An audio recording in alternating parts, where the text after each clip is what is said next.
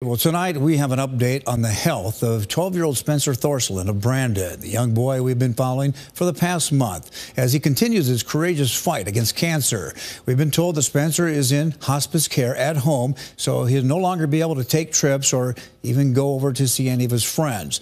His mom says that he had a rough night last night, but like Spencer has told us from the very beginning, as we were invited to follow his journey, some days are good and some days are bad. But as you're about to see, today was another good day.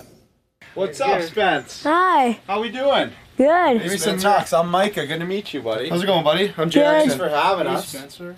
Six players from the Sioux Falls Stampede hockey team stopped by to present Spencer with some special presents. So we got a little gift for you. We just had our Star Wars night this We had a past Star week. Wars you know. night, so Heard you're a big Star Wars. Star You're a big Star night? Wars fan. so we got you a Star Wars Whoa. The whole team jersey. We signed got it everybody too. signed it on the back. Dude, that's so cool. Yes, for you. All you. wow.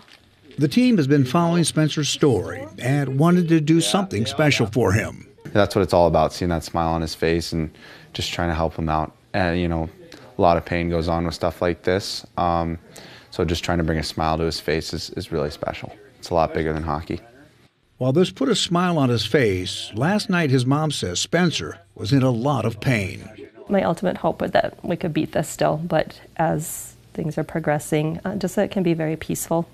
Um, the pain episodes, I don't like watching that or seeing that. So if we can make sure we're staying on top of pain, or we have our little emergency med that like um, we can give it right now and it makes the pain stop. Just peaceful, being able to just sit together, talk, and just very quiet, peaceful time together is my hope for him as we continue down this. To help manage that pain, Spencer is on a daily regimen of pills. He continues to touch people's hearts all across the country, even around the world now. It's humbling and it's surreal and it's kind of uh, sort of unbelievable too with how many people are affected by his story and uh, how many people he gives hope and strength to believe and uh, you know so positive effect so Yeah. I mean, we just can't thank everybody enough or individually, but um, even just getting those little text messages here and there or somebody reaching out and posting, I'm thinking of you, it means a lot. And the prayers, we can feel the prayers because we still have good days. You know, like this is my day today, I'm to live today. My brother's here today, he's going to play with me today. Um, what are we going to accomplish today? Yeah, really focuses on the day.